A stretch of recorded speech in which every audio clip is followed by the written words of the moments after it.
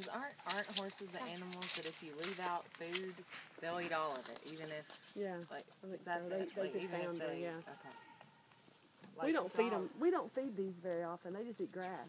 We feed them grain sometimes. Like we fed her a lot when she was pregnant. You know, before she had, and we fed her some now. I think. But Magnum, he doesn't get anything extra. He'll get some hay in the winter, because that's expensive. You try to start feeding the horse every day. Well, that's why I was like, do you if you don't have to, why? I mean, We don't. Oh, we oh, just okay. let he eats grass, and we have mineral blocks out. They need certain minerals, like uh-huh. cows do, I guess.